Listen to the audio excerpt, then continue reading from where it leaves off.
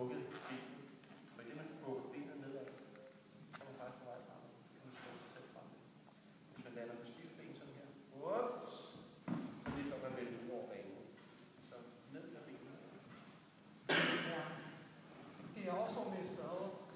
Først er her. Efter færdig. Færdig. Lander på venstre. Okay? Det der højde håber. Og lander på venstre. Lander på venstre.